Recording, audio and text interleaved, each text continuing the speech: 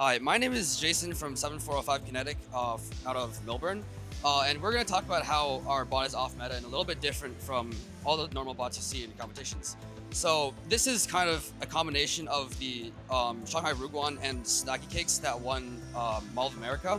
Um, and I'm going to talk about our hood here and our intake here. So for the hood here, um, we have kind of these two standoffs here um, for storage. So it, you have two pistons to actuate it up here and some floating tension here, which um, works most of the time.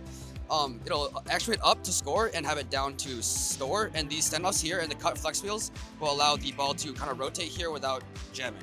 Um, the other part of the robot I'm talking about is this um, middle scoring here. So most robots you'll see are um, hull counts of the Shanghai Ruguan bot, and they run a conveyor belt up a ramp made of rubber bands or plastic. Um, we opted for rubber band rollers because it allows for better middle scoring.